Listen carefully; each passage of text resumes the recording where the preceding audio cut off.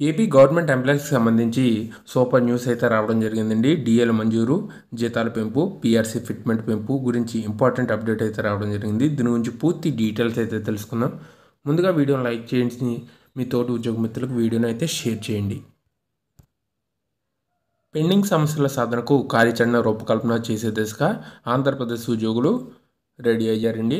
ఆంధ్రప్రదేశ్ ఉద్యోగ ఉపాధ్యాయ కార్మిక పెన్షనర్ల ఐక్య కార్యాచరణ సమితి ఏపీజేఏసీ రాష్ట్ర కార్యవర్గ సమావేశం ఈ నెల ఇరవై ఎనిమిదిన నిర్వహిస్తున్నట్లు JAC secretary general G Hridayaraj అయితే తెలపడం జరిగింది.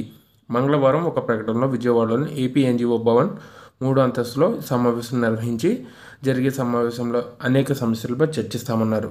అయితే నాలుగేళ్ళుగా పెండింగ్లో ఉన్న లెవెంత్ పిఆర్సీ అమలు సిపిఎస్ రద్దు పెండింగ్ బకాయిలు ఫ్రీజింగ్లో ఉన్న డిఏల మంజూరు అలాగే కాంట్రాక్ట్ ఉద్యోగుల క్రమబద్ధీకరణ అవుట్సోర్సింగ్ ఉద్యోగుల జీతాల పెంపు హెల్త్ కార్డ్స్ అమలు retirement benefits A PF APGLI loans claims సకాలంలో చెల్లించి చెల్లింపులు తదితర అంశాలపై ప్రభుత్వం చూపిస్తున్న నిర్లక్ష్యంపై చర్చలు జరిపి ఆందోళన కార్యాచరణ ప్రణాళిక రూపొందిస్తామని తెలపడం జరిగింది. సో మెయిన్గా ఇక్కడ ఉద్యోగుల ప్రధాన అజెండాగా లెవెంత్ పిఆర్సీ అయితే కొనసాగుతుంది. లెవెంత్ పిఆర్సీ అమలు సిపిఎస్ రద్దు పెండింగ్ డిఎల మంజూరు ఈ మూడాట్లకే ప్రభుత్వ ఉద్యోగులు చాలా కాలంగా ఎదురు చూస్తూ ఉన్నారండి. సో ఖచ్చితంగా ఇవన్నీ నెరవేరాలని ప్రతి ప్రభుత్వ ఉద్యోగులు గవర్నమెంట్ని అయితే కోరుతున్నారు.